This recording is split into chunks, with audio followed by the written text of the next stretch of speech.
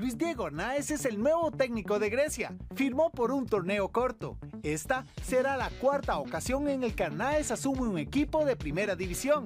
Anteriormente estuvo en Punta Arenas, Herediano y Alajuelense.